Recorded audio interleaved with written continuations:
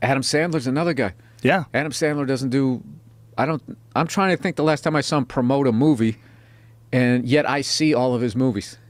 Yeah. And then I just hear through the grapevine, oh, he signed some big thing with Netflix. All his movies are going to be over there. And I was like, all right, I guess I'm watching them over there. And I've always just sort of like, and it wasn't until um, I talked to somebody like, yeah, he doesn't do any press. Good for Basic, him. basically. Smart. I, I might be wrong, but from what I heard, for, he does very little if he does any. Yeah, no, he's smart. He's got his core audience. You know, uh, I watched uh, Jack and Jill with my kids, with my six-year-old and my eight-year-old.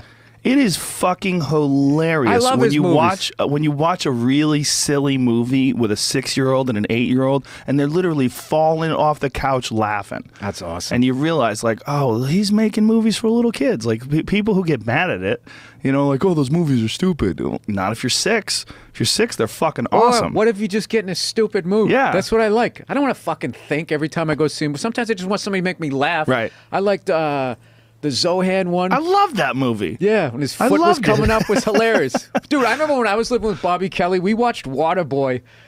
Uh, Bobby Boucher. We watched that thing like fucking 900 times. Like it was kind of like our go-to.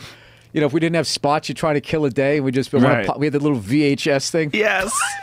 yes. We, I probably saw that movie at least 30, 40 times. Yeah, and Happy Gilmore. I saw Happy Gilmore at least ten times. That's a fucking Yep. great movie. I forget the name of the last one. The one he did was Spade when he was uh, he worked at the bank in the supermarket.